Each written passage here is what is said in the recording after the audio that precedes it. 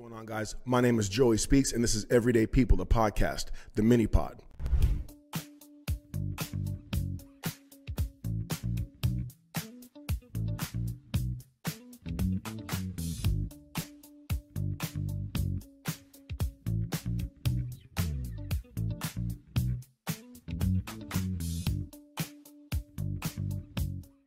So I'm gonna just jump right in today. I have a couple things that I've been re- really wanting to talk to you guys about, and so I want to kind of go back to some of the things that I used to talk about much more often when I first started being a personal trainer. And so the first thing I want to talk about is, you know, so for me personally, and what I want you to be thinking about is that I like to think of myself as a mixed martial artist of personal trainers.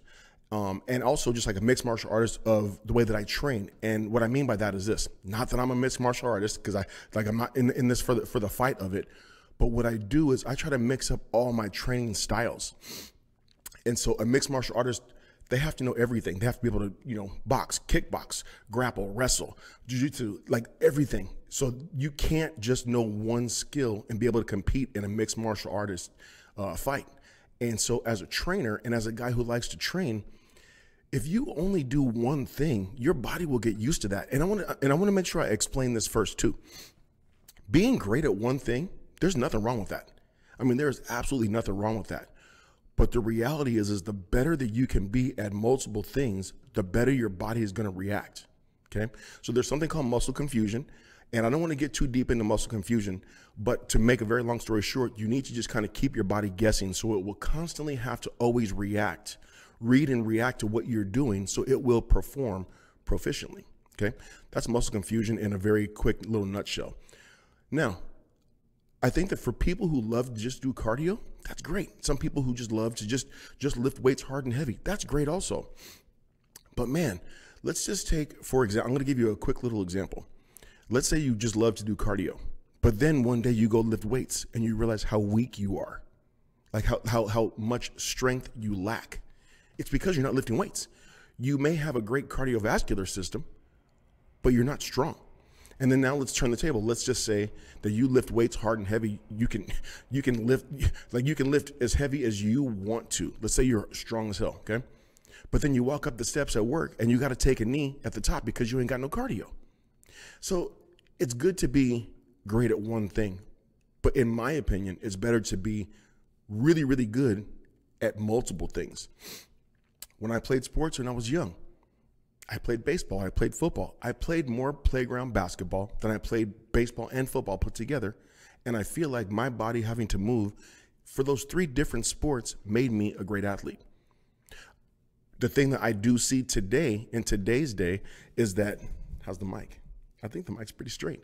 Um, in today's day is I think that people kind of get caught up in just what they love to do. And like I said, that's good. I don't I don't want to be I don't want to knock what you love. But what I do want to do is tell you, man, like do what you love, but then also mix it up, man. You got to mix it up. And when you get good at a bunch of things, man, your strength will come, your cardio will come, everything will come to you and you'll be able to see a different part of yourself. So, I wanted to keep this part of the podcast real quick, uh, but really fishing and letting you know that, you know, like don't just focus on one thing. I want you to start off doing what you love, but once you kind of get into your groove, man, like like like reach out, do some other stuff, do yoga, do Pilates, stretch, incorporate all these different things into your program, and it will only make you better. It will only make you better. Okay, so that's the first thing I wanted to talk about. The next thing I want to talk about is the difference in the way that we do workouts. So today's going to be much more focused on workouts. I may talk about a couple other things, but you know, just just workouts. So I like to lift a couple of different ways. There are times where I get into this into this mode where like man, like I just want to just go hard and heavy. And I go heavy, I lift as much as I can, I do as many reps as I can. So I um I do subscribe to the theory of the higher weight that you lift, the fewer reps you should do but I also, when I'm on it, I'm only talking about for me right now. I'm not talking about for my clients. I'm not talking about for anybody else in particular. I'm talking about me. I still like to do as many reps as I can as I lift heavy. Okay. So I feel like I'm getting the, the, the best of both worlds. Now, the heavier it gets, chances are the fewer reps I can do, But I don't just say, hey, I'm just going to do one rep or two reps of this amount of weight if I can do five or six. So I may not be able to be in the eight to 12 range for muscle hypertrophy as I go heavier, but if I can do five or six as opposed to two or three, more work with more weight is only more better. It's only more better. It's only better, right? So I love to lift hard and heavy, and everything I do is just like I'm, i I, kind of come in here like and, and I'm just I'm ready to go. Other times I like to to go lighter with more reps, and I like to. It's a totally different burn. It's a totally different feeling for your muscles. Like when when the when the weight is really heavy, it's a fight. I mean, it literally is a fight to get the weight up, to get the weight, to push the weight away from you. And it feels one specific way. Now, when you go lighter for more reps, burn is the probably the best word I can think of the way that it feels. It is just it turns into because you can do the reps, but then you just keep going, you keep going, you keep going. And man, like it turns into this this good good pain burn, but man, like it creates so much definition. It it, it, cre- it creates so many striations. So I am not a believer in just doing X number of reps. I know that there, um, I, I do say, oh, this is what you should do, depending on what your level is. Let's say, you know, your eight to 12 reps is hypertrophy range. I also think that if I can do 15 or 20 reps, I'm going to do that. If you can do 15 or 20 reps, you should do that with the same weight that you could do eight to 12 reps. Okay, I want to make sure I'm making sense with this. Don't change the weight to try to do more reps if you don't have to. If you have to, then do. Okay. So I love to do HIIT workouts, high intensity interval training. Generally speaking, they're body weight workouts. They're much more cardio style workouts, yeah? Um, and that doesn't mean that everybody's HIIT workouts are like that, but generally speaking, typically a HIIT workout may be uh, with body weight. I love to do HIIT workouts with weights. I love to lift weights at a cardio pace. That is where I get the absolute best bang for my buck as far as the way that my body reacts to my workouts. You get size and strength with heavier weights. You get cuts and definition with lighter weights with more reps. When you combine the two, I mean, it's literally the best of both worlds. So I started off by talking about being a mixed martial artist of a person who works out. And I want you to think about HIIT workouts to where you can do, you can mix things up. Okay. Now, when you are doing something for cardio, you do not want to go quite so heavy because the law of diminishing return will kick in really fast. And when you are lifting heavy, uh, too heavy of weights at a cardio pace, your muscles can fail quickly. So you need to make sure that you're getting the correct amount of weight when you're doing a HIIT workout with weights. So I'm talking about two totally different things here. One style is just coming in, going hard and heavy, building muscle, building size, building strength. The other workout I'm talking about is a HIIT workout with weights.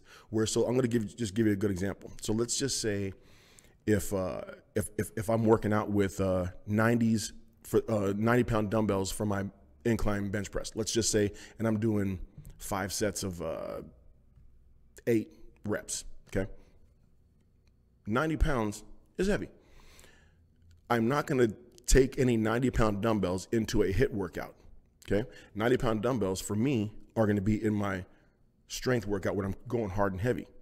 I might jump into some maybe some 55s or 60s, okay, where I could easily do 55s or 60s.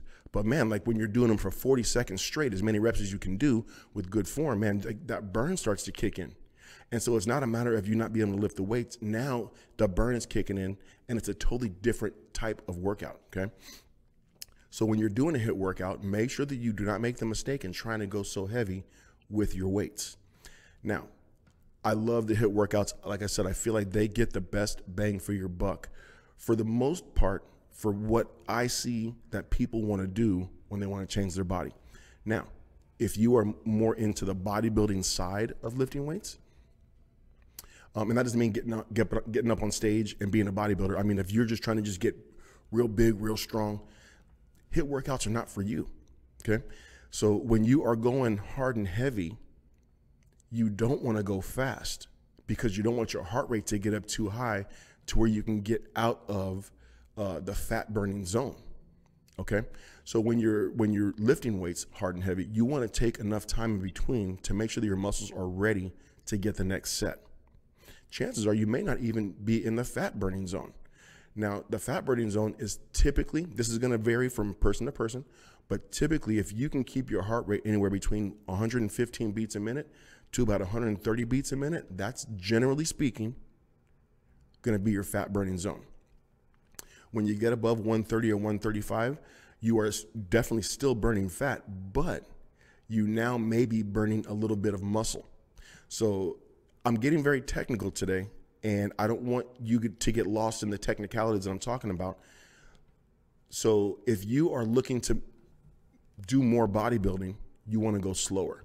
If you're looking to just get in great shape, get yourself healthy, don't worry about what your heart rate is while you're lifting weights. If you're if you're lifting harder and heavier, okay? If you're looking to get in great shape, you want to I think that HIIT workouts are a great way to do that. But then I combine them. One, let's just say one week I go HIIT workouts, and next week I go um, hard and heavy workouts, and then some some weeks I combine them. So, like I said, I know I'm kind of jumping around here a lot, but I want to give you this information because, you know, you've heard me say this a, a thousand times already. Do what works for you. Do what works for you. This is the best thing about doing something. Whatever you do, it's going to work. Because doing what you're doing when you're not doing anything is always worse than doing something. As long as you're not hurting yourself, as long as you're doing something, and then you figure it out along the way. So start. You start. You figure out what you want to do first. Go with that, and then start mixing it up. Okay. So think of yourself as not just being a one-trick pony, but you want to start off with that one trick, and then you want to expand your uh, you, you want to expand your horizons to other parts of fitness as far as lifting weights. Okay.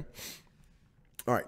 So um, that is those. Are, that's the main topics I wanted to talk to you guys about today. Um, I th- I really do think that you know people kind of get uh, paralysis by analysis. Oh well, I should do this, or you know, like oh well, this person says that you know you should do this kind of workout, or you should do. Man, who cares what that person says? Who cares what I say for that matter? I want you to take the information that I give you and then apply it to yourself and say, hey, you know, Joey had a point with this. So I'm going to maybe take a little bit of that. But then this guy had a point about this. So I'm going to take a little bit of that. But don't just get stuck thinking about what you should do. Do something.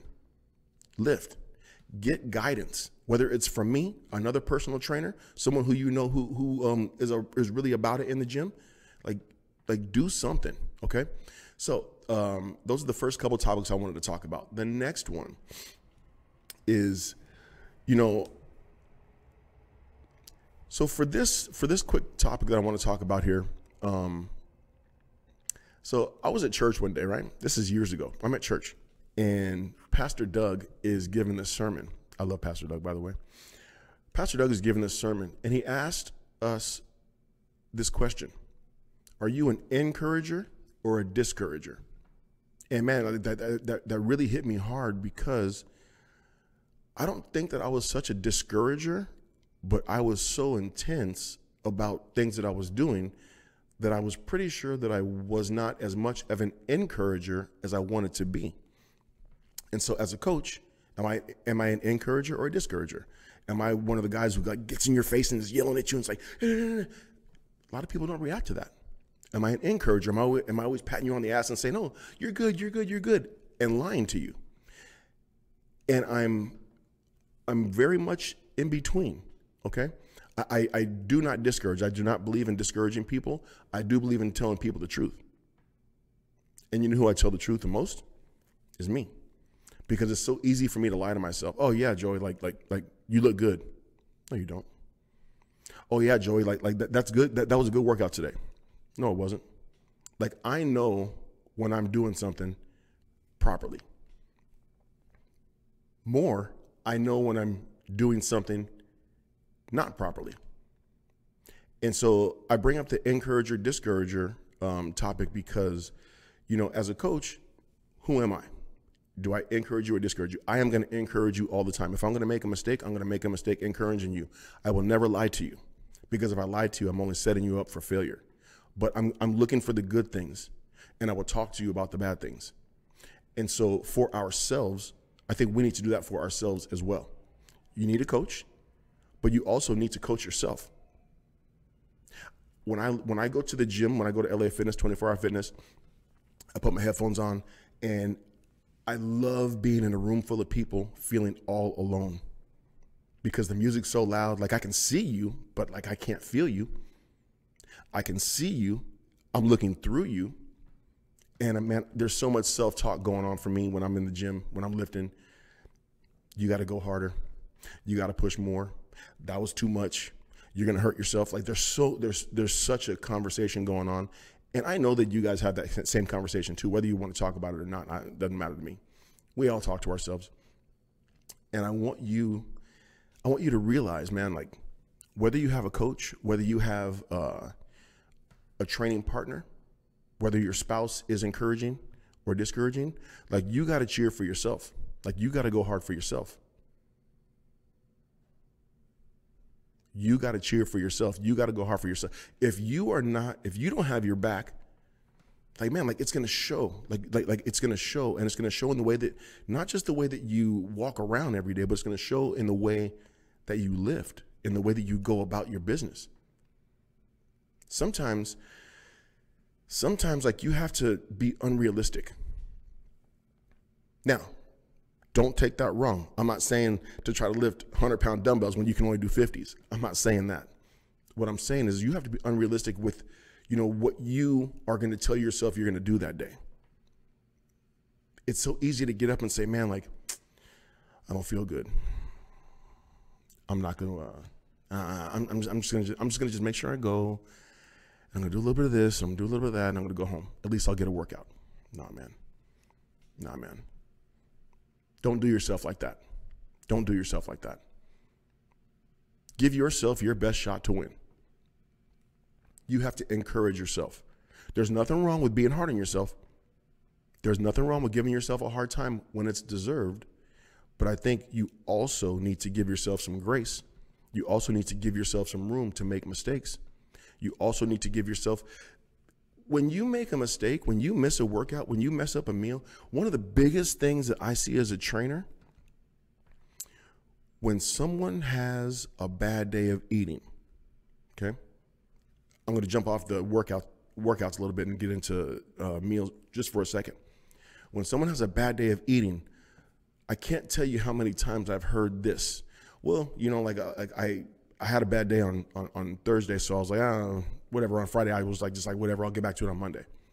Nah, man. Have a bad day. That's okay. One day does not make or break you, it's your consistency. Consistency does not mean that you're going to be great every day, it means you're going to do like this. It's the way it goes. If you're losing weight, when you lose weight, you lose like, like this. You go down, go across, you go up.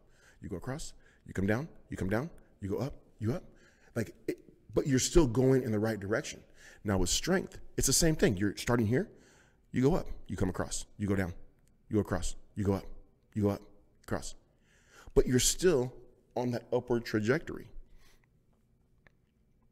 So you can't be your own worst enemy if you have a bad day, a bad time, a bad workout. Man, I have had some of my greatest workouts when I felt the worst going to the gym. I literally would have to yell at myself, get up and go to the gym. Get up. And I just drag myself. and, and, I just, I get to the gym and I, am a monster. And there's other times I go to the gym, I think like, oh, I feel good. I'm going to be, oh, I, I just feel real strong. And I get in there and I'm not strong. But I go hard. But I just am not as strong as I thought I was going to be. And I, I know you guys have been there. But you can't let that day go to the next day. It's just a day. It's just one day. One day will not make or break you. It is your consistency that will dictate your success. Yeah? Yeah. All right, guys. So today, I really, uh, I really wanted to talk to you guys about this. This is something that means a lot to me as far as what I work out and the things that I do. I like to mix up my workouts. I like to do a little bit of everything. I don't want to be good at one thing. I want to be good at everything. If someone comes in here and they say, "Hey, can you do this?" I want to be able to say, "Yep, let's do it." I don't want to say, "Oh, I have no idea what you're doing and how to do that," and just be like lost. I, I, I don't ever want to be that guy. I also want to be really good at the things that I'm good at. So mix it up, okay?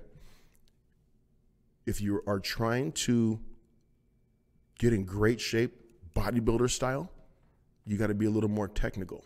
Okay. If you're trying to get in great shape as just someone who's trying to just get in great shape, just improve your health, go, do. Don't worry about stuff. You got to start. Once you start, then you, once you start, then you will be able to figure your way through. That does not mean do not go in with a plan. That means is don't get stuck thinking about stuff and not start. I hope you guys understand what I'm saying today, okay? All right, guys. Quick little shot right here with episode number two. Um, if you guys have any questions, man, please hit me with the questions. Leave them in the comments. I am happy to talk about anything that you want to know about. Um, any of the the things that you've done that have not worked, or the things that you have done that have worked. Any of the foods that you eat, the workouts that you do. Like, let me know what you're thinking. And if you have any questions, or you want me to answer any questions for you, I will do it right here on the mini pods, and uh, we'll go from there. All right, guys. I will see you in the next video.